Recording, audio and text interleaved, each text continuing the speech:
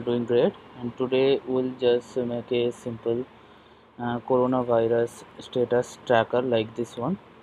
And it will just in using this rapid API for the to get the data. And it's gonna be pretty simple. We'll be using flask and python. So let's get started.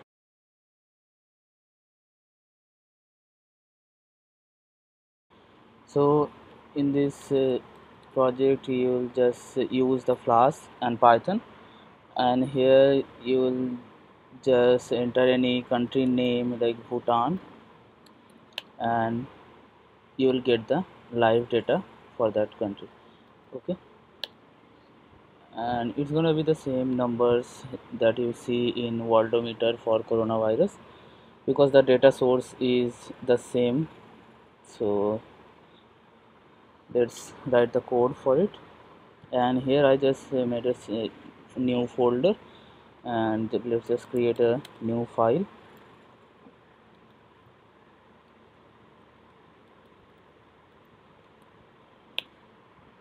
Okay. And we'll need uh, request. Okay as they have already mentioned it here if you want to do it with python. And i think request is the most famous one so you will need this simple code for that. Okay so we can at first simply copy it. And you will need the API key and for that uh, you will have to sign up okay? So it's free completely free. You don't have to pay anything or like that. So just sign up and log in. You will see the API key here. And just paste that API key as a string here okay? And uh, for me I will import it from another file okay? From API import API key okay. You don't have to do that. I will just do it for so that you don't copy my API key okay? And I will need a file API no. API dot file okay. Here I will have the key and I'll paste the key later here okay okay I have put my API key in that file. And let's just cut that. And uh, if we try to run this let's see what happens. Python 3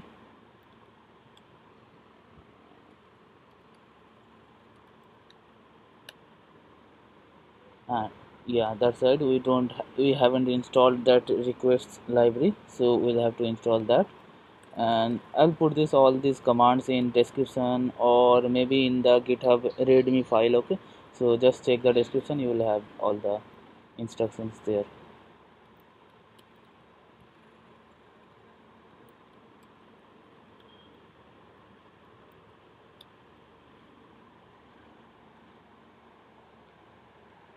Okay so this is installed.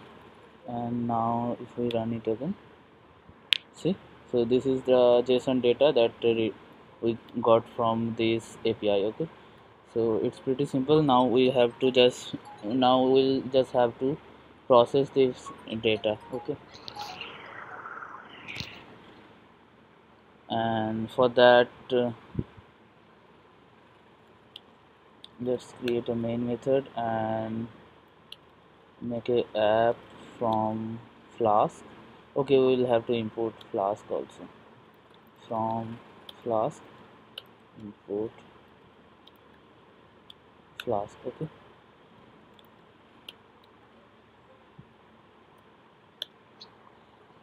And let's run that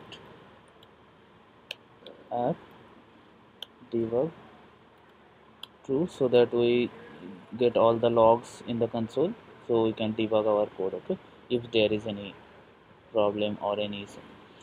So I think if we run it again and we'll gonna get and error of course. Module not found error because we don't it didn't install the flask yet. So let's install flask. 3 install flask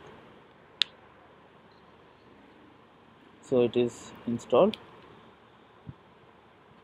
And here you can also mention the port number because maybe I have uh, the port 300 used for some other things. So let's just say 555 okay?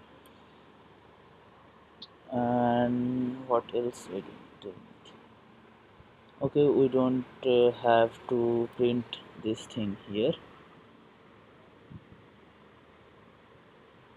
And let's create a let's create a route at app dot route and let's just make it a, a route.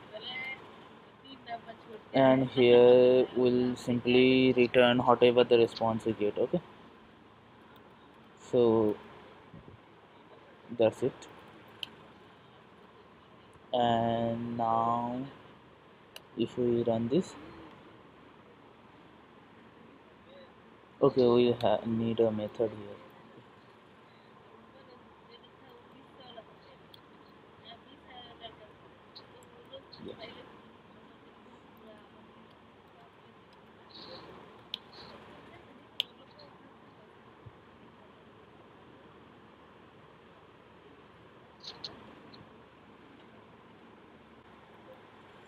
so let's return the response variable actually.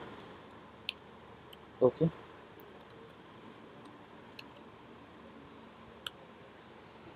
So as you can see it is uh, running already and it as it's saying that it is running on this port.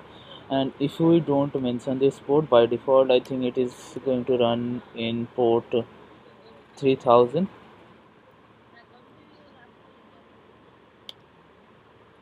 5000 actually okay? So this is the default port and if we mention any port here so it's gonna use that one okay?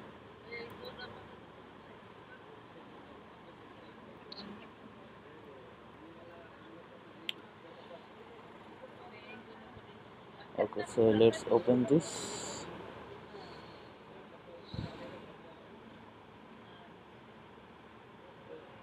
okay so here if you directly return the response we'll have to return it as a string okay?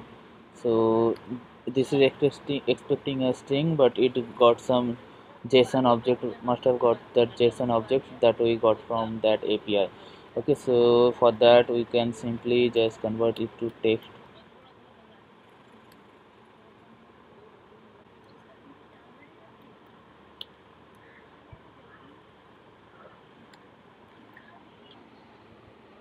so you see this is all the uh, record that we got from that API but we are going to show it for only one country at a time because this is not very readable. And so now you can just um, create anything you want from this data okay? So for now let's say uh, if it's a, a root and dot json dot get.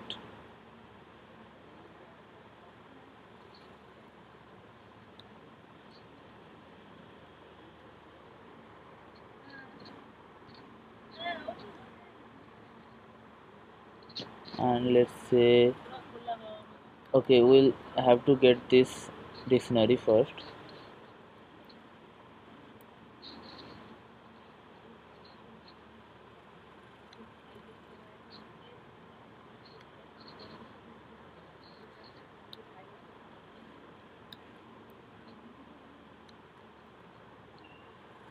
okay so now we have the dictionary of country status okay?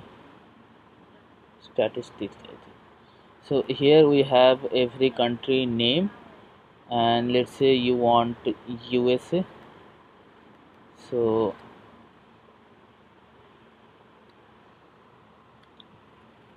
we'll have to rotate this is an array. You can see that this starts from a square bracket. So this is an array of all the countries. So if I just show you all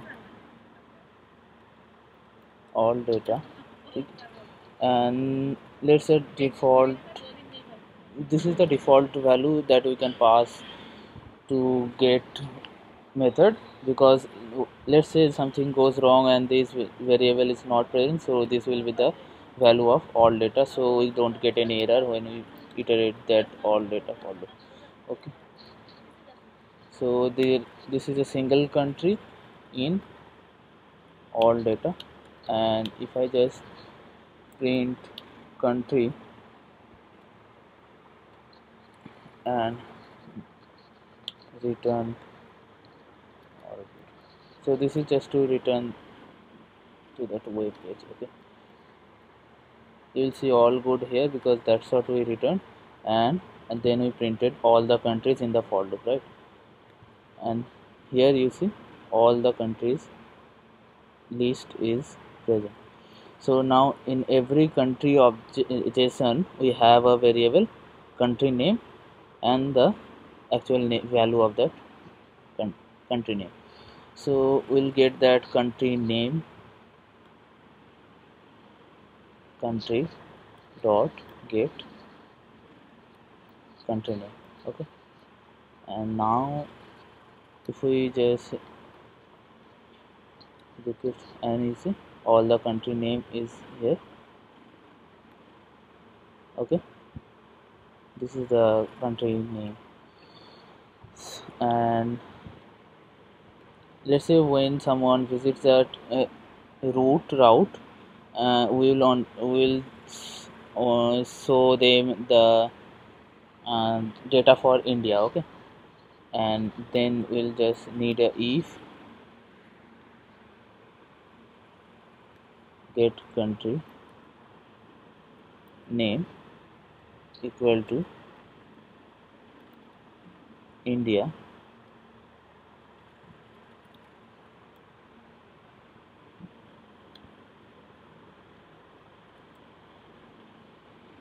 and now here return.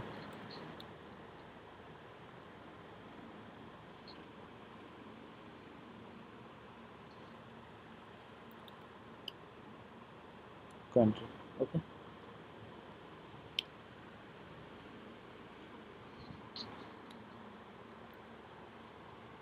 So this is the data for India and this is right now in JSON format. We'll have to uh, show it with a little bit of HTML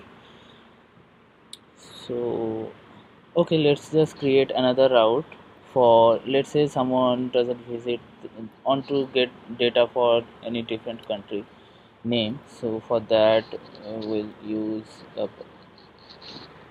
country country and um,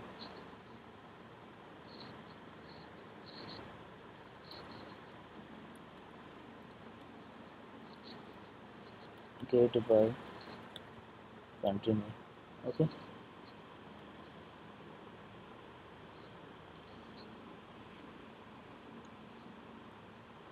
And instead of India this must be equal to this country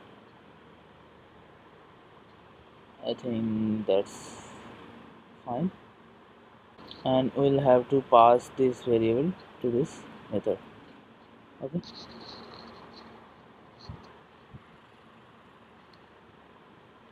So if we visit the root route then also we got the India data of India.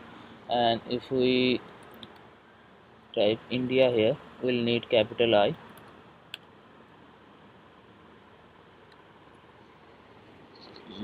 no didn't get the data we wanted. Why is that? Data from China. Okay okay. I think this variable and this variable name just uh, contradictory. So this value got replaced by this one. So let's just use country name okay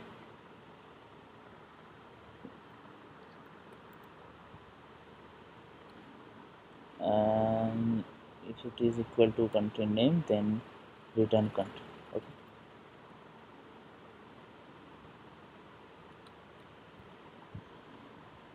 So uh, this is India and then if we do China. So this is China and if you want to let's say design a little bit so already this video is getting pretty long so I'm just gonna copy it from my previous project. So here you can just do it like this okay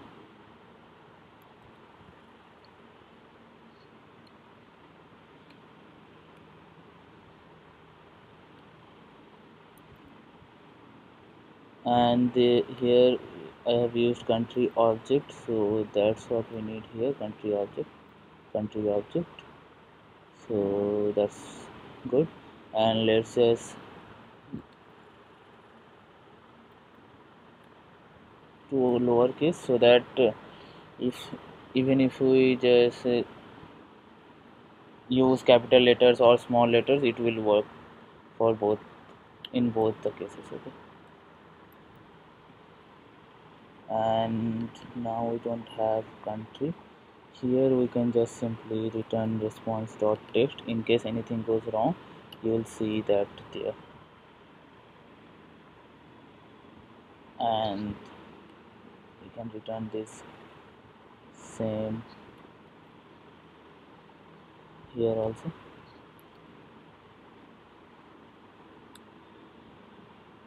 And here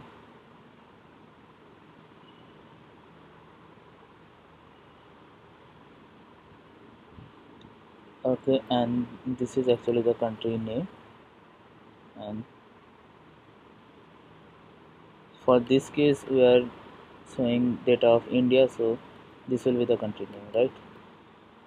And we'll need country object. So in this in return statement you can pass HTML as a string right? And it will just the browser will process it as a HTML so that's fine.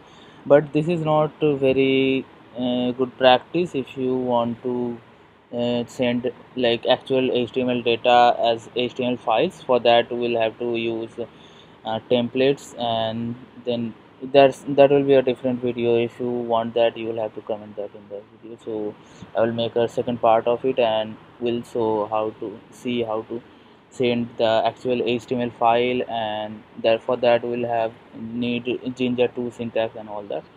For now if we just want to show this line so this this is fine I think. Okay so if we just uh, run it once again. So you see mm, this is what we got.